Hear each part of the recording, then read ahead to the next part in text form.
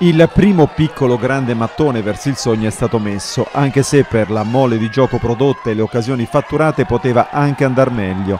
Nell'andata del primo turno dei playoff nazionali di eccellenza il Fossombrone batte il Certosa di misura con una rete di Pagliari quasi allo scadere, ma soprattutto per quello che i Metaurenzi hanno fatto vedere nel corso del primo tempo, nel quale hanno spinto davvero di brutto, il risultato poteva essere decisamente più ampio. Davanti ad un Bonci quasi sold out con 800 spettatori in tribuna, i padroni di casa partono a tutta. Sul traversone di Battisti nei pressi del secondo palo, una sponda favorisce Pagliari, la cui deviazione di testa è salvata nei pressi della linea di porta da un difensore romano.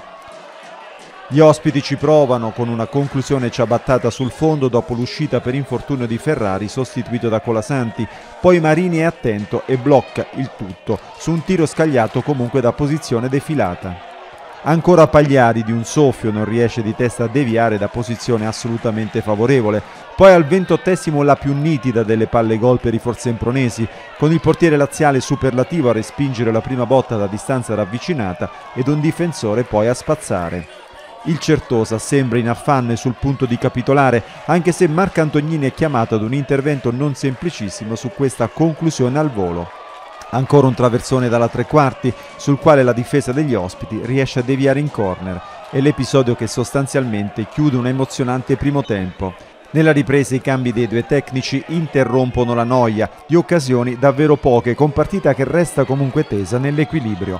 Situazione di stallo che salta a 5 minuti dal termine, dormita colossale della difesa ospite, assist per Pagliari che da ottima posizione realizza il gol decisivo di giornata. Buona la prima dunque per il Fosso che si affaccia alla gara di ritorno con un gol di vantaggio. Il match si giocherà domenica prossima a Centocelle, per i Blues comunque il coefficiente di difficoltà si presenta decisamente elevato.